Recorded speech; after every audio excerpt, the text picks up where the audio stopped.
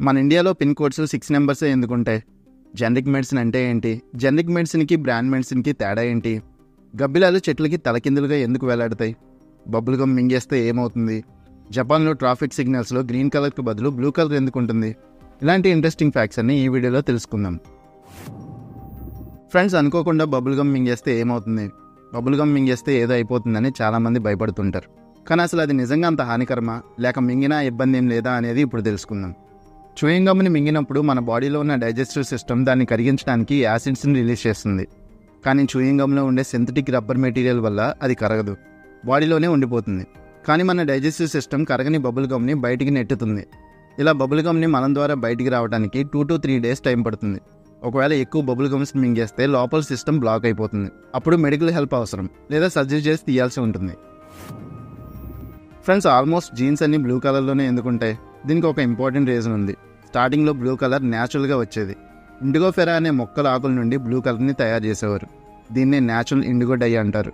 దీనికున్న ఒక ప్రత్యేకమైన లక్షణం వల్ల అప్పట్లో జీన్స్ని తయారు చేసేటప్పుడు ఈ కలర్ని వాడేవారు. అదేంటంటే ఏ రంగునైనా హీట్ చేసినప్పుడు అది కాటన్ క్లాత్ యొక్క ఫైబర్స్లోకి చొచ్చుకుపోతుంది. కానీ న్యాచురల్ ఇండిగో డై మాత్రం కాటన్ ఫైబర్స్ సర్ఫేస్ పైన అతుక్కుని ఉంటుంది. దీనివల్ల ఉపయోగం ఏంటంటే జీన్స్ని వాష్ చేసినప్పుడు కాటన్ ఫైబర్స్తో పాటు కొంత ఇండిగో డై కూడా పోతుంది. దీనివల్ల జీన్స్ కొంచెం ఫేడ్ అయ్యి లుక్ వస్తుంది. సో అదే బ్లూ కలర్ని ఇప్పుడు కంటిన్యూ చేస్తున్నారు. కానీ ఇప్పుడు న్యాచురల్ ఇండిగో డైని కాకుండా సింథటిక్ ఇండిగో డైని వాడుతున్నారు. చూపులేని వారు బ్లాక్ స్పెట్స్ని ఎందుకు వాడతారు? అవి వారికి ఎలా యూజ్ అవుతాయో ఇప్పుడు తెలుసుకుందాం. మ్యాక్సిమం బ్లైండ్ పీపుల్ బ్లాక్ స్పెట్స్ని వాడతారు. దీని వెనుక కొన్ని ముఖ్యమైన కారణాలు ఉన్నాయి. హెల్త్ రీసెర్చ్ ప్రకారం ఫిఫ్టీన్ పర్సెంట్ బ్లైండ్ పీపుల్కి ఎటువంటి విజన్ ఉండదు.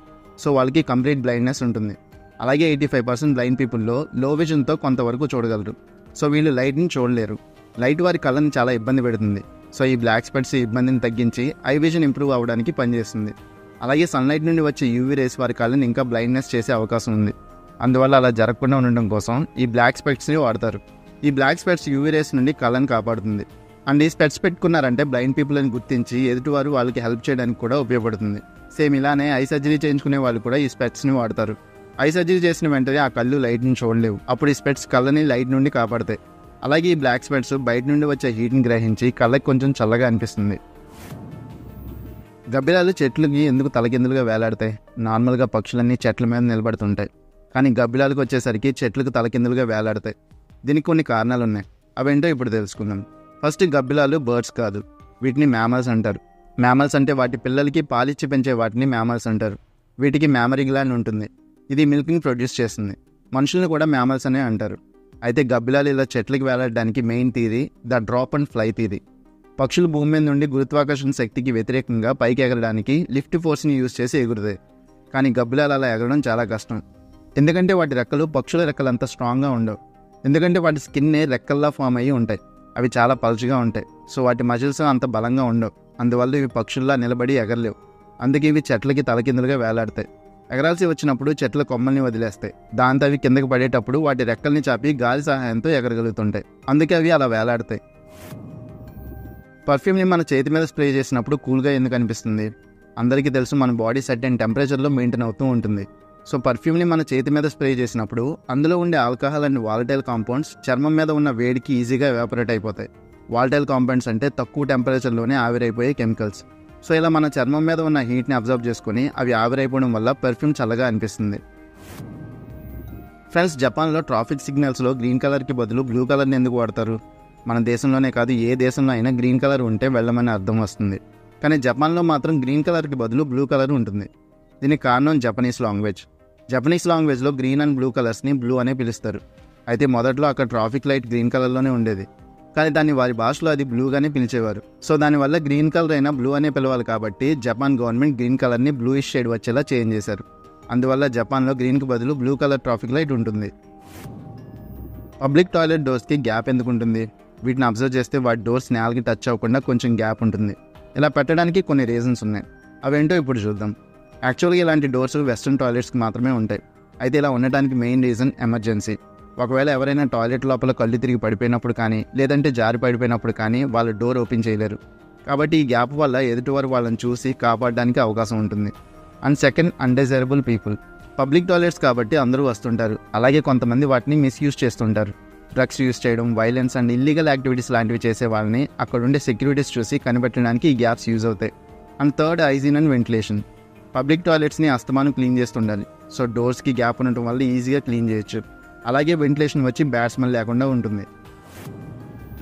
మ్యాక్సిమం ఏ హోటల్స్లో అయినా వైట్ కలర్ బెడ్ షీట్సే ఎందుకుంటాయి? ఒక బెడ్ షీట్సే కాదు పిల్లోస్ టవల్స్ ఇలా క్లాత్స్ అన్నీ వైట్ కలర్లోనే ఉంటాయి. వీటికి రీజన్ ఏంటో ఇప్పుడు చూద్దాం.